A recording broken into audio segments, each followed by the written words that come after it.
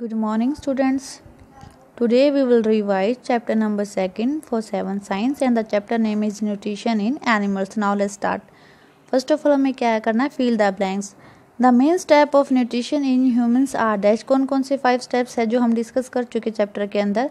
कौन से होते हैं जो न्यूट्रिशन इन ह्यूमन्स के अंदर? Ingestion digestion absorption assimilation and egestion these are the five steps then next is the largest gland in human body कौन सा होता है? वो लीवर लार्जेस्ट ग्लैंड कौन सा होता है हमारी ह्यूमन बॉडी के अंदर? It's liver the stomach release hydrochloric acid and dash juice which act on food जो हमारा स्टमक क्या रिलीज़ करता है? हाइड्रोक्लोरिक एसिड को एंड किसको? डाइजेस्टिव जूस को जो किसकी तरह एक्ट करता है?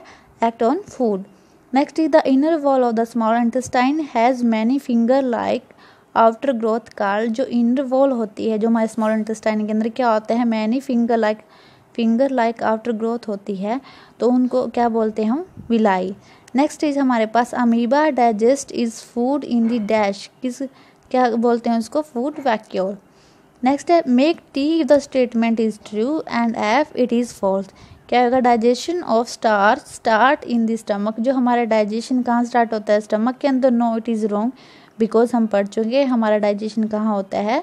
बकल कैविटी इट मीन्स हमारे माउथ के अंदर। तो देन क्या होगा it's false then next is the tongue help in mixing food with saliva जो हमारी टंग हेल्प करती है मिक्सिंग फ़ूड किसके अंदर? स्लाइवा के अंदर। It's true the gall bladder temporarily store bile क्या होती है? जो हमारे गैल ब्लेंडर टेम्परेली स्टोर करते हैं बिल्स को क्या होगा यस yes.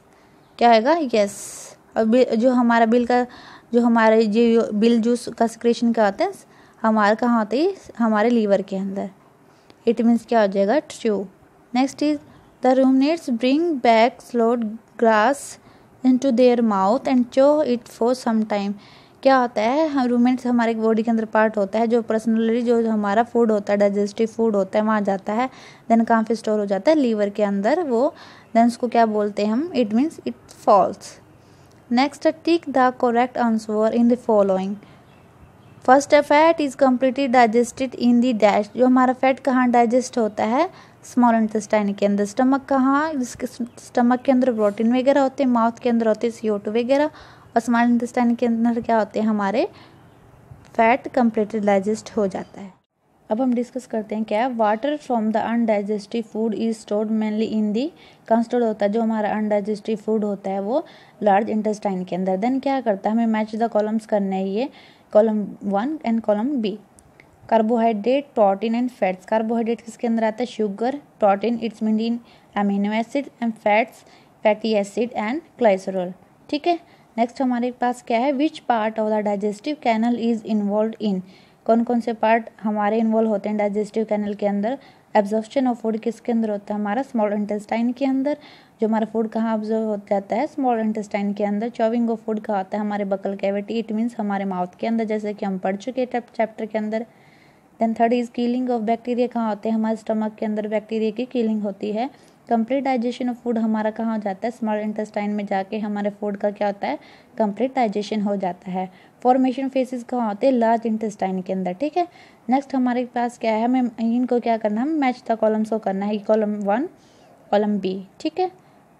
सिलेरिक ग्लैंड किसके अंदर आती है? हमारे स्लीवा सिक्रेशन के अंदर स्टमक किसके अंदर आता है? हमारा जो एसिड हम रिलीज़ करते हैं, और लीवर किसके अंदर आता है? बेली जूस सिक्रेशन के अंदर।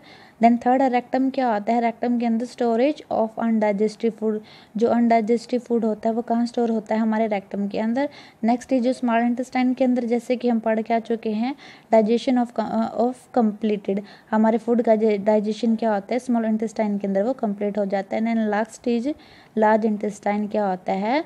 ऑब्जर्प्शन ऑफ़ वाटर जहाँ पे क्या होता है? ऑब्जर्प्शन ऑफ़ वाटर होता है. इट इज़ क्लियर सो आपको क्या करना है? अच्छे से इसको रीड आउट करना है देन इसको लर्न करना थैंक यू